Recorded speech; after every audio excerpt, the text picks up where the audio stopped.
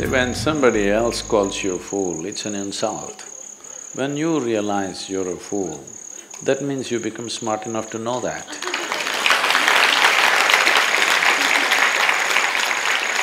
So I did not call you a fool, I only agreed with you.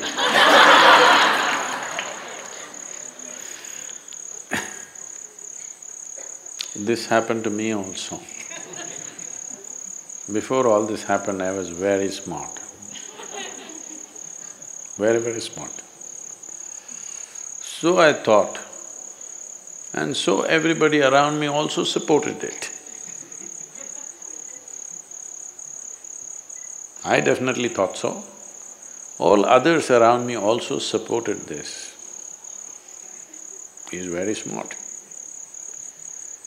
And uh, the activity that I… that I was performing at that time and the results that it produced also proved that I was very smart. But one day, I went up a small hill and I realized I was an utter fool. Since then, everything has been fantastic. Yes. So be a fool, it's a damn good thing. If you're a damn fool, it's a damn, damn good thing. But don't tell anybody like this. Because socially you still have to live. You don't go about telling everybody, I'm a fool. It's all right. You know you're a fool, everybody thinks you're smart, that's a good thing. But you tell everybody you're a fool, that's not a good thing. So, uh, there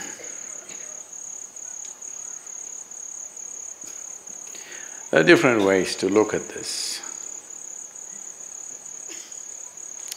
If something bigger than yourself happens to you, something way bigger than yourself happens to you, then naturally you feel like a damn fool. Nothing happened to you, you are the biggest thing in the universe. You think you're smart, but you are a bloody fool. That's a big difference.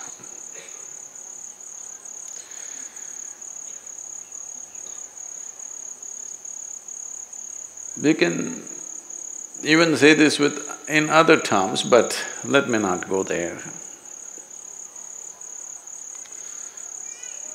I want you to understand that there are no too many problems with you. Hello? You think you're complicated because you like to be complicated. Because if you're simple, you feel like a fool.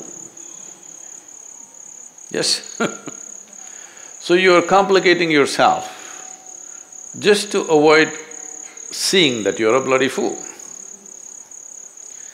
Your problem is not very existential, it's more maintenance. Certain things are not opening up. This happened. Shankaran Pillai checked into a hotel along with his wife. At eleven thirty in the night, he called the reception and he said, my wife is threatening to jump out of the window from the fifth floor the reception said, Sir, this is a personal matter. I cannot intervene in this. And above all, I'm the only night staff who is here. So you need to deal with it yourself. This is a personal matter. Except for me and one maintenance staff, there is nobody in the hotel, we cannot assist you in any way. You need to deal with it yourself, it is your personal stuff. Shankaran Pillai roared, you idiot! You think I will ask you to come and handle my personal matters? I am talking about a maintenance issue only. The damn window is not opening.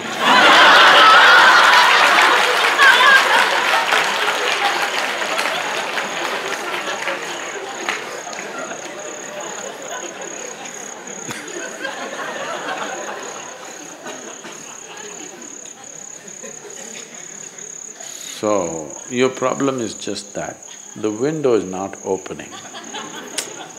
There's no other problem, just maintenance issues. Because you think you're too smart, it's too stuffed up. If you feel like an empty fool, it'll open up.